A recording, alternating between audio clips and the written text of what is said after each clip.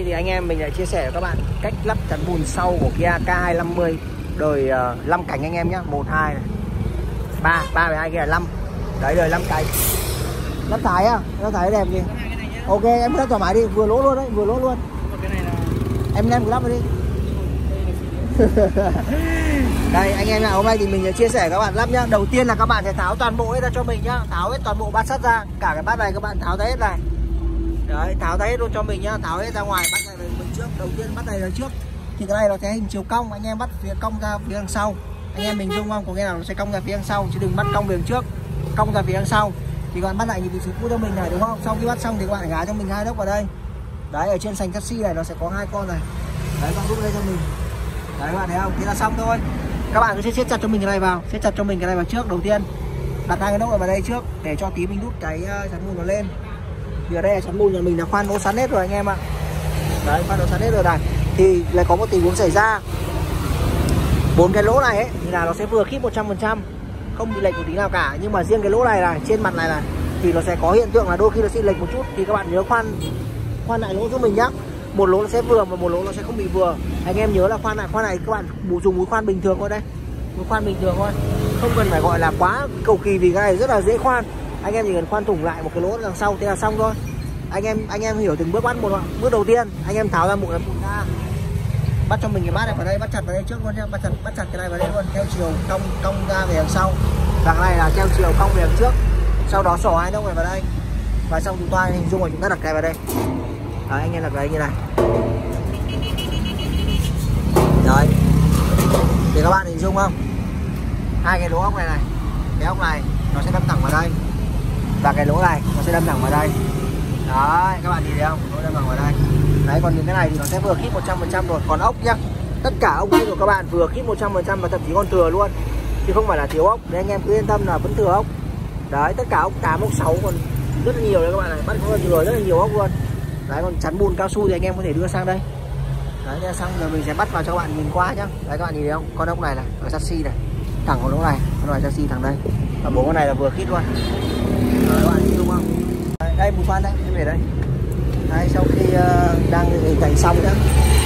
Xong bắt xong cái này thì em mình uh, ờ, làm đôi chắn bùn thái đó. Đây đây là cao su chắn bùn thái các bạn nhé em mình không tính lắp cái zin vào nữa thì em mình chuyển sang thái. Thái thì nó sẽ có một điều là nó sẽ lệch những cái lỗ mà ở chắn bùn đấy lắm anh em ạ. Anh em phải cầm khoan lại cho mình nhá.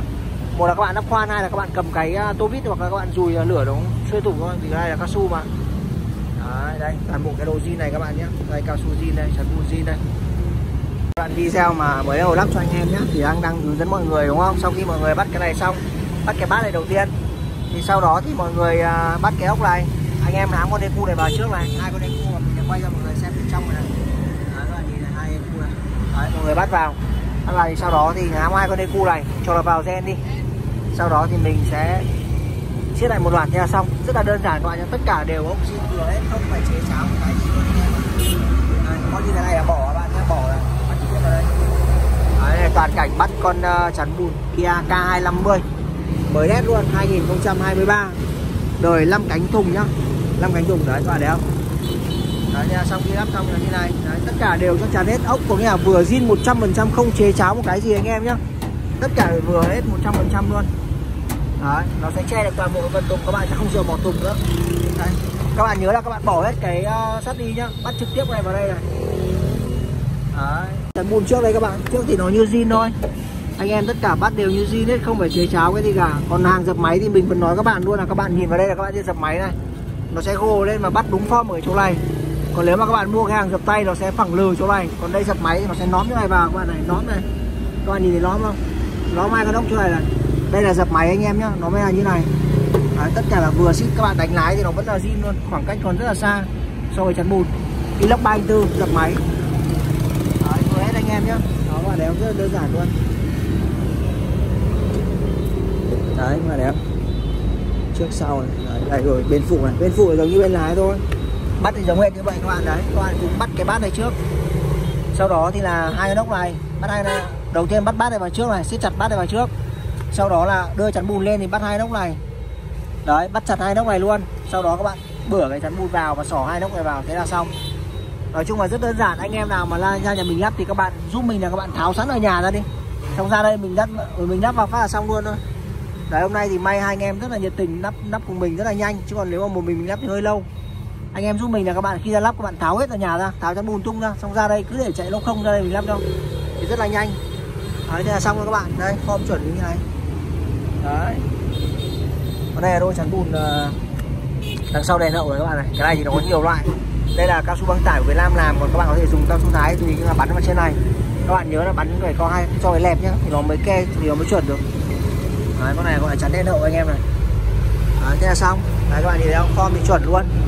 Bản chắn bùn này là bản 40 anh em nhá bản ngang 40 và các bạn yên tâm là nó sẽ không có tình trạng chịu vào lốp của các bạn đâu. Cái khoảng khoảng khoảng ở giữa rất là rộng đấy thế là xong các bạn nhá. Cùng với làm xong ok em trai ơi. Đây vài anh ở đơn. Thank you em trai. Hai bốn năm mươi. Giờ là em 50 đúng không?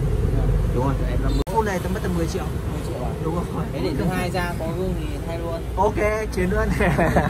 Thank you em nhá. Cảm ơn anh anh đi nhá. Anh đi anh đi cảm ơn hai anh em hai chị cháu rất nhiều luôn. Đấy nhà bạn thì cũng gần khu nhà mình thôi. Ở trên um, ngay ở khu uh, bên uh, bên ngoài đức. Đấy sang đấy rất nhanh. Đấy mừng các bạn thấy không? Hàng xịn sò lắp bắt được khít luôn. Cảm ơn hai chú cháu rất là nhiều nhá. Anh em ơi anh em ủng hộ mình theo số điện thoại là 09788 23083 và 09788 2028 hiện tại thì vẫn đang làm việc ở 983 chỉ tầm khoảng uh, hết tháng cô thôi là mình sẽ chuyển toàn bộ cái cửa hàng này sang nhà 110 và phá hủy. Ở đây không làm đây nữa. Anh em nếu mà có thì anh em chia sẻ cho mình cái thông tin là mình chuyển cửa hàng nhá thôi anh em đến đây là không thấy mình hoặc là thấy một cái càng khác là nó sẽ chặt chém các bạn không vào nhà mình đâu. Đấy, các bạn lưu ý giúp mình nhé là mình sẽ chuyển toàn bộ sang bên kia.